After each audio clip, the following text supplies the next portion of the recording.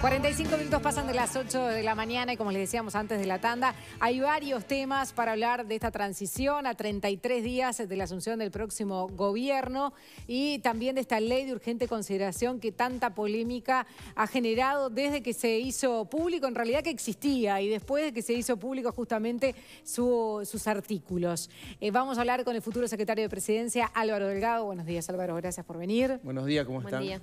Bien. Bueno, antes que ningún tema, retomemos, para los que, los que estaban viendo además la nota con Fernando Pereira, eh, los puntos que Fernando recalcaba que van a tener una cantidad de conflictos.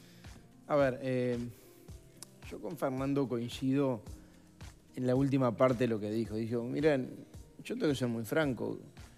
Parte de lo que está en la ley de urgente conciliación, gran parte vinculada a lo que tiene que ver con relaciones laborales y en muchos otros temas, yo no lo compartía, pero no lo compartía antes. Pero lo que no puedo decir que no fueron anunciados. Y, lo que estamos viendo que en realidad es un anteproyecto y que después veremos cómo termina el proyecto, que es verdad, lo que es un anteproyecto. Y en esto está bueno lo que tú dijiste, la polémica fue primero porque no se mostraba. La polémica es ahora porque se muestra previamente a, a que sea un proyecto terminado. Hay una decisión personalísima de Luis, como presidente electo de publicar el borrador. E incluso porque no es lo habitual, en ninguna ley de presupuesto, por ejemplo, las últimas leyes de presupuesto tuvieron algunas más de 700 artículos. Nunca la publicaron antes, nos enteramos cuando llegaron al Parlamento y teníamos 45 días en cada Cámara. En este caso hubo una decisión del presidente electo, de Luis, de decir, yo quiero un debate abierto, que todo el mundo, ser transparente en la información y dársela a los socios y ese mismo momento publicarla en la página web, creo que fue que se mm. publicó, y establecer un mecanismo que sí se estableció con los socios para las modificaciones, propuestas, mejoras y todo lo demás, y nos dimos un plazo para que eso se pueda eh, dar y bueno, en una, discusión privada, en una discusión privada, pero con el documento hecho público, que hubiera ocurrido lo inverso, ¿no? Si, hubiera, si le hubieran dado la colisión, cuando hubiera llegado a los equipos técnicos, no, hay que, no por los socios, pero sí por algún técnico, se nos hubiera filtrado a los periodistas y lo hubiéramos conocido. ¿Sabes lo que pasa además, Juan Miguel? Que fuera de los partidos políticos, diferentes actores sobre el proyecto de borrador, lo bueno de esto están mandando por WhatsApp, lo están mandando a mí, a varios Ayer me pasó con dos, uno vinculado al tema académico, otro vinculado a temas que no tienen nada que ver. Eh, propuesta de mejora, hasta de redacción, cómo quedaría mejor redactado. Bueno, en el caso de Fernando Pereira, él eh, habla de que en, el tema de ocupaciones hay una redacción que estaría abarcando toda la huelga, que nosotros como periodistas tenemos claro que, no era el espíritu de que se había manifestado. Ni la redacción, ni el espíritu. No, compartís lo que hay una, lo comparto. Hay una corrección que ahí hacer allí. Ahí se transcribió lo que dice la OIT. La OIT le pone en términos de huelga en un sentido muy amplio, habla fundamentalmente de las ocupaciones y habla siempre la OIT, en términos de la OIT, Organización Tripartita Mundial que mm. regula las relaciones laborales, habla siempre del derecho de los no huelguistas, siempre habla de respetar la huelga, primero que nada. La huelga es un derecho constitucional y nunca está en discusión, ni para nosotros ni para nadie. Para nadie. En segundo lugar, eh, la OIT habla del derecho dentro de la huelga del derecho de los no huelguistas a trabajar y habla también del derecho de los dueños de la empresa a poder entrar a la empresa. Nosotros lo que hicimos fue transcribir el texto de la OIT. Obviamente con el pitch NT tuvimos varias instancias, tuvimos varias instancias durante el proceso de la campaña electoral, públicas y privadas, y tuvimos instancias, la primera reunión el 7 de enero, ustedes recordarán, cuando retomamos el trabajo después de cuatro días de vacaciones y le pasamos la factura al presidente electo. cuatro días de vacaciones. También Fernando Pereira la pasaba recién, me hicieron venir el 7 de enero, volver a eh, cuatro días de vacaciones. Eh, la primera reunión fue con el Pichanete, una reunión larga. A ver, en la coincidencia o en la discrepancia, obviamente nosotros que no estamos habilitando las ocupaciones, lugares de trabajo por la vía de la derogación de, del decreto que las habilita en los lugares privados, porque los públicos no las habilita tampoco el gobierno. Es decir, bueno, eh, nosotros no vamos a, habilitar las ocupaciones, lugares de trabajo, vamos a generar una instancia de negociación y después, obviamente, eh, se, trabajará para que se restablezca la, eh, la funcionalidad de la empresa. Eh, obviamente en eso no tenemos acuerdo con el Pichenete, pero no lo teníamos antes y ya sabía que lo íbamos a presentar. Lo hablamos en esa reunión, que en eso tenemos discrepancia. Ellos dirán, bueno, en realidad no son tantas ocupaciones. Sí, hay dos formas de verlo, y tú lo mencionaste bien. Una es cuántas fueron realmente, cuántas en realidad estaba la amenaza de poder hacerla, entonces generalmente terminabas así, eh, acordando algunas cosas en función de que estaba arriba de la mesa en la instancia de ocupar, y algunas que fueron muy emblemáticas que, que generaron perjuicio en serio. A ver, siempre tenemos que respetar el derecho a huelga, el derecho de los que quieren trabajar, de los no huelguistas, y el derecho de los dueños de la empresa a poder entrar a la Lo que dice Fernando es, acá en realidad lo que pasa primero en casi todas las ocupaciones, y no en todas, es lo que dice él, es que se violentan los derechos laborales primero. No se le paga a los trabajadores por tres meses, se empieza a desmontar una, una máquina sin dar avisos de que va a haber despidos de ningún tipo, se los deja a los trabajadores tirados. Y entonces en última instancia se ocupa y se va a ocupar igual, aunque no esté permitido por decreto, porque es la última herramienta de lucha que nos queda. Está bien, eh, no ha pasado así. Muchas veces y no por Fernando Pereira. Pero los casos que puso Fernando decís que no fueron así. No, eh, es una persona muy lógica. Acordémonos la última emblemática, el tema frío pan, ¿no? Eh, está claro eh, cómo fueron las cosas. Bueno, pero alguna, y en, y en sí, ni ellos mismos estaban de acuerdo, digo. Bueno, también, pero lo que ha pasado también es que hay una, en algunos casos, y lo hablamos mucho con ellos, obviamente yo no, no voy a, a revelar conversaciones privadas que muchas veces dirigentes de bases sindicales no tienen a veces la experiencia para poder manejar un escalonamiento de determinado sistema de prevención de conflictos o de escalonamiento de lo mismo. Entonces empiezan por la última etapa, que es la ocupación. Eh, ahora sabiendo que la última etapa, nosotros al derogar el decreto que las, habilita, que las habilitaba el 175 del 2006 y no habilitarla por ley, porque así está establecido, eh, obviamente me parece que hay un sistema de prevención de conflictos que hay que trabajar eh, con el movimiento sindical. Acá va a haber un Ministerio de Trabajo mm, que va a tener mucho diálogo. Nosotros ah, con el PCNT dijimos, va a haber negociación colectiva, ya le habíamos dicho en la campaña, el proyecto de ley lo refleja, o sea, se aventan cualquier tipo de cuco, va a haber eh, consejos salarios. Es más, el gobierno avanzó más, el gobierno electo avanzó más y el presidente avanzó más. Incluso más que algunas recomendaciones. Digo, yo estoy de acuerdo que muchas veces los consejos salarios no solo fijen salarios mínimos, sino que dar la libertad a las partes que puedan avanzar en otro tipo de acuerdos vinculados, por ejemplo, a eh, diferentes laudos o condiciones de trabajo. Beneficios. Eh, y la verdad que el PCNT lo tomó muy bien. Porque había algunas, algunas propuestas dentro de la coalición. Pero el PCNT, Luis se lo anunció el lunes 7 de enero y lo tomó muy bien. Obviamente en las ocupaciones no tenemos coincidencia.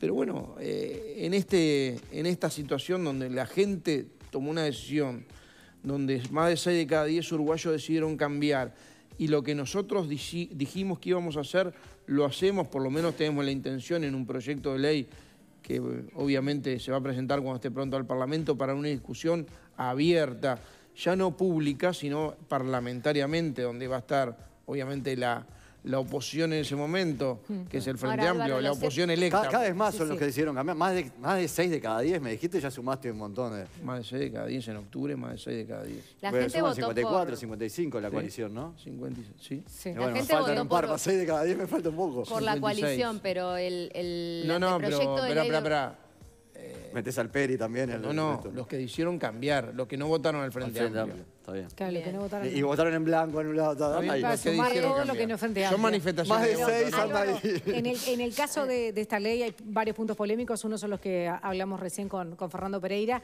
pero hay otros Acá, que tienen... respeto a los derechos laborales, a la negociación colectiva, también es verdad eh, va a haber una instancia del Ministerio de Trabajo de respetar a aquellos trabajadores. El Ministerio de Trabajo es el Ministerio del Trabajo. O sea, obviamente vas a recibir a los trabajadores eh, que están agremiados. Yo tengo una posición diferente con respecto a, algo, a los gobiernos que, bueno, que de estos 15 años que solo recibían a aquellos que estaban agremiados. Me parece que también hay instancias de que los trabajadores tienen que ser recibidos todos y protegidos todos, los agremiados y los no agremiados.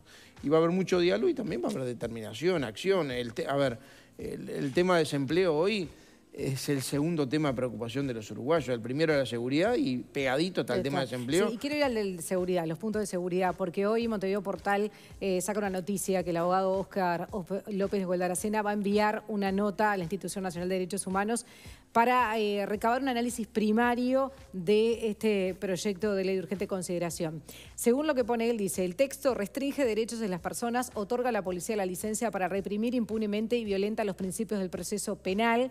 Dice, frente a un hecho que considere con apariencia delictiva, aunque no fuese denunciado, la policía quedará habilitada a intervenir sin que la Fiscalía se entere de inmediato ni de la denuncia ni del hecho. La policía inicia las investigaciones, obtendrá prueba y tomará declaración al imputado sin avisar al fiscal, sin su intervención ni control, pudiendo incluso detener a personas en averiguaciones sin orden judicial. Lo que dice el abogado es que viola los principios esenciales del sistema procesal penal y de la Constitución de la República. A ver, eh, yo respeto todas las opiniones. En este caso están haciendo un juicio de valor sobre un anteproyecto, que no es el proyecto definitivo que además tiene, por parte de quien lo dice, un componente ideológico muy fuerte. Si en, alguien, en algún momento la gente quiso cambiar es en materia de seguridad. Y gran parte de la ley de urgente consideración se basa en una actitud muy fuerte de cambio en materia de seguridad pública, de actitud, de actitud y de respaldo judicial, en lo que tiene que ver con el agravamiento de pena, en lo que tiene que ver con respaldo a la policía, en, nuevos delitos. ¿Mantiene la esencia de la reforma de Vivir Sin Miedo? O sea, Bueno, hay algunos aumentos de penas. Hay, algún componente. Hay... Algunas de la baja también. penas para quienes hacen el desacato de la policía, para quienes roban armas a la policía, para quienes rompen las tobilleras, eh, con el tema de libertad vigiladas, la posibilidad de tener más tiempo la policía en que pueda permitir interrogar antes de pasar, en este caso, a fiscalía. O sea, hay una serie la seguridad rural. Porque uno dice, son conductas, ¿no? Conductas delictivas. Uno ve conductas delictivas que es cuando la policía actúa. Nosotros, la ley. La, pregunta es, porque ayer justamente hubo una discusión entre Gandini y nuestra colega Denise Mota, en qué es una apariencia delictiva, no es una conducta delictiva. ¿Quién tiene una apariencia delictiva? Ah, bueno, yo lo que pasa es que no, es un tema mucho más técnico eh, de derecho penal, pero lo que está claro, eh, yo no voy a dar esa discusión ahora sobre qué es apariencia y qué es conducta. Eh, una, es verdad que la policía muchas veces actúa preventivamente ante suposiciones de determinadas eh, actuaciones que puedan darse. Uno tiene la pericia, la instrucción, la formación para poder prevenir y es parte de lo que tiene que ver. La conducta delictiva me imagino que tiene mucho que ver con un hecho que está sucediendo, bueno, por eso, la conducta tiene un hecho. En lo demás, pero puede ser la apariencia de delito. En lo demás, en lo demás tiene mucho que ver con la prevención. El que tenga la, posibilidad de la policía de pedir documentación hmm.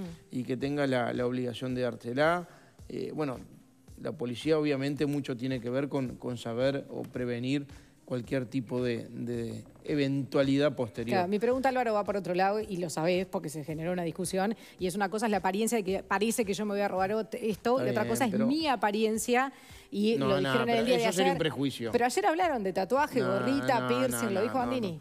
Por eso Una cosa es la apariencia delictiva, eso es tu apariencia. se genera un, límite ahí entre el clasismo y el racismo en quién tiene una apariencia delictiva y quién no, más allá de un hecho o una conducta.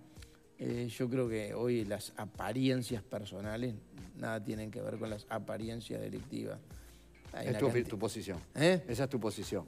A ver, muchas veces vemos eh, gente que comete delitos.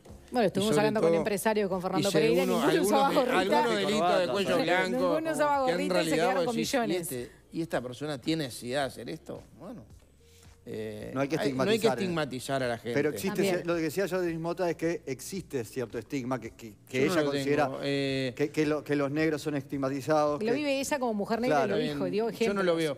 Lo que hay después son parte de, conductas eh, urbanas que se fueron dando en determinadas situaciones, pero en realidad la apariencia delictiva no tiene nada que ver con la apariencia personal. Tenemos que no, esa, no esa es la señal que se lo va a dar a la policía. Lo está separando. No, es separar eso. Bien, y por a ver, la apariencia delictiva sí, eh, nosotros debemos trabajar en la prevención y la represión. En la apariencia personal es parte de la libertad. Bueno, pero ayer por eso se confundieron un poco los términos. Bueno, hay que darle a los policías las herramientas, porque uno ve a gente con apariencia delictiva en la calle también sin estigmatizar a nadie. a gente... Con apariencia delictiva, con apariencia de que va a cometer un delito, aunque no lo esté cometiendo.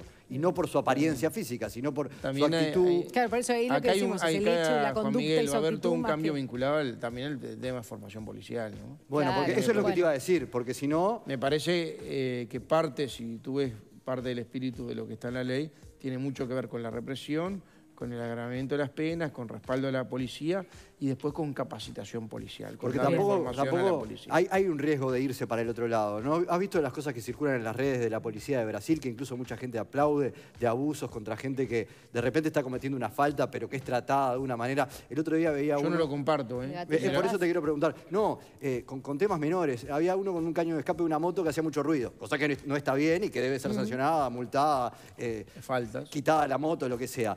Pero lo que hacía el policía fue, le hizo prender la moto, uno lo agarró, lo bajó y lo hizo quedarse al lado del caño de escape, mientras otro policía aceleraba la moto y lo hacía escuchar el ruido.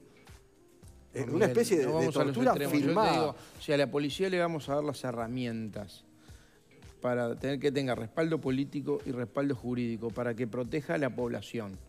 O sea, para que nos sintamos todos más seguros, para cambiar los indicadores de criminalidad, de delito, homicidio, qué es lo que le está faltando. Y soluciones de vivienda eh, también. Nosotros tenemos que darle los instrumentos. Ahora, los instrumentos para que sean bien usados. Después, si hay exceso, tenemos que ser muy duros con el exceso. Está claro eso, ¿no? Porque tenemos que garantizar la libertad de las personas también. Bien. Los derechos otro punto, la bancarización y el posible lavado de activos. Eso es otro de los puntos que se ha criticado bastante. Yo creo que parte del gobierno se enamoró más del instrumento que del objetivo con el tema mm, de la inclusión financiera.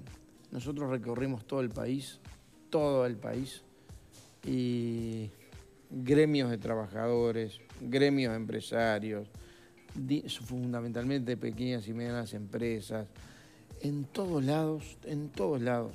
El otro día me reuní con estacioneros, eh, dueños de estaciones de servicio de todo el país en Maldonado, el, viernes pasado. Todos lados se criticaban la inclusión financiera que en realidad no había logrado el objetivo, pero que además ha tenido un sobrecosto adicional, sobre todo por los aranceles. para algunos comerciantes más chicos, sobre todo. La obligatoriedad de, la, de la inclusión. La obligatoriedad de la inclusión. Ahora, Álvaro, eso es una... Eh, ¿Sabes por qué? Porque quienes tienen más espalda y es más grande, las grandes superficies, por ejemplo, terminaba siendo una competencia desleal contra los pequeños comercios de todo el país porque las grandes superficies tenían aranceles más bajos, porque la negociación era diferente con los emisores de plástico, pero además tenían muchas veces más espalda financiera para que te acrediten la operación. Después. ¿Entendés? Ahora, Álvaro, y los comercios chicos no lo tenían, entonces perdían muchas veces eh, la capacidad de, vender. Esto es una cosa vinculada al comercio más chico y, está bien donde allí algunos integrantes del gobierno han sido más críticos, pero también ha habido críticas a otra parte de, ese capítulo de la ley, de gente que no tiene que ver con, el Frente Amplio, ¿no? Eh, un ex integrante del gobierno del Partido Nacional, Javier Daedo, ha dicho no me gusta la desinclusión financiera. Leonardo Costa ha amargado alguna preocupación con respecto a los artículos que tienen que ver con el lado de activos. Por ejemplo, que se vuelva a habilitar a pagar una casa en 300 mil dólares en efectivo. Bueno, nosotros eh, con Leonardo Costa hemos estado hablando porque es uno de los que va a ser alguna sugerencia para mejor en redacción. Me parece que el concepto y parte de lo que está en la ley tiene que ver con el concepto. Obviamente se podrá mejorar la redacción y obviamente el Uruguay además está eh, condicionados por normas que votó internacionalmente, normas OCDE, entre otras cosas, de lavado de activos. Así que sobre eso, no vamos a salirnos, está claro, eso, garantía para cualquiera. Lo que sí, lo dijimos en campaña, lo ponemos en la ley, lo vamos a hacer y la coalición de gobierno comparte este concepto que es quitar la obligatoriedad de la inclusión financiera.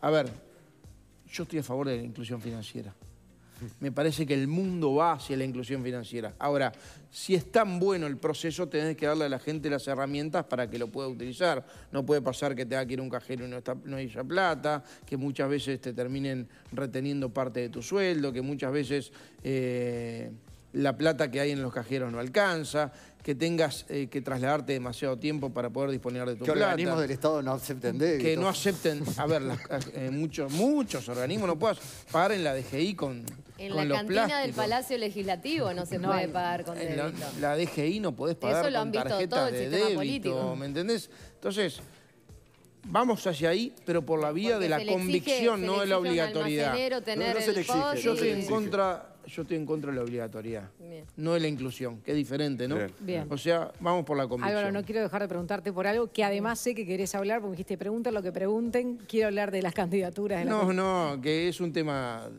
de estos días y me parece que está bueno dar el mensaje de que el Partido Nacional, que el Partido Nacional pero que los demás socios de la coalición estamos coincidiendo eh, que hay que priorizar con mucha responsabilidad, con mucha premura, porque en realidad las fechas, las fechas eh, son acuciantes, eh, la necesidad de tener un candidato, uno o más, yo en lo personal prefiero uno, uno o más candidatos del que representen a la concertación en Montevideo, que representen a, la coalición en Montevideo. La concertación era el instrumento que no salió, que, no salió hubiera sido la solución, no está. Y hay otra restricción que mucha gente no lo sabe. Ayer, por ejemplo, uno me decía, ¿por qué no va tal, tal, tal? Digo, ¿sabe por qué? porque los que participaron en un lema en la interna no pueden participar en otro lema Cosa en que la elección se sabía cuando empezó todo el proceso, ¿no? Está bien, pero mucha gente no lo sabe. No, eso sí, pero los partidos, yo digo, no por eso, por eso nosotros no le dan poca importancia a esta, Por eso nosotros reservamos gente, por eso nosotros reservamos... Pero no es una mala señal que el futuro Pero no, pero no se aprobó la concertación. Mm. Eh. Y bueno, y pasó eso, y la verdad que también todos tenemos que hacer una autocrítica en ese sentido, ¿verdad? quizá estábamos tan metidos en el tema de la posibilidad del gobierno nacional que muchas veces fue subsidiario. Y, bueno, ahora lo que estamos buscando, y en eso se le pidió también una mano al presidente electo, pero el otro día lo manifestó Luis en, Rocha, preferimos en Montevideo buscar acuerdo, concertar, buscar candidatos de la coalición, uno o varios, dentro de un lema que nos permita votar a todos que no estás votando el lema, estás votando la coalición, el candidato de la coalición. A ver, el Frente Amplio durante mucho tiempo estuvo bajo el lema Partido Demócrata Cristiano. Nadie decía Partido Demócrata Cristiano, decía Frente Amplio, ¿no? Bueno, acá va a pasar lo mismo. Votemos en el Partido Independiente y nadie va a hablar del Partido Independiente. ¿Qué es lo que vamos a hablar? del candidato de la coalición. ¿Qué es lo que nos interesa? ¿Que eso es un mensaje para Cabildo Abierto que no quiere Partido Independiente?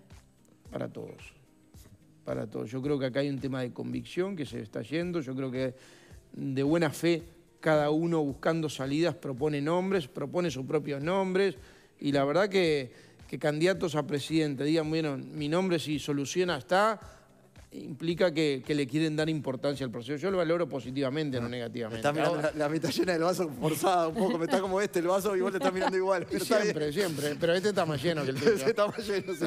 Ahora, pero no, creo que todos, y tú has visto las declaraciones ayer de casi todos los partidos... Le están tirando la pelota a Luis. Tiene la llave el presidente han, para... Han, sido contestes en decir, vamos a... Más allá que ofrecemos nuestro nombre, vamos a, priorizar, a priorizar buscar un candidato de la coalición de gobierno, que represente a la coalición de gobierno, a la totalidad de la coalición en Montevideo, y busquemos después la mejor forma para hacerlo. Obviamente tendrá que ser algún lema que de, quizá de los que menos eh, impronta electoral Dijiste algo ahí. ¿Tiene la llave el presidente electo en este tema?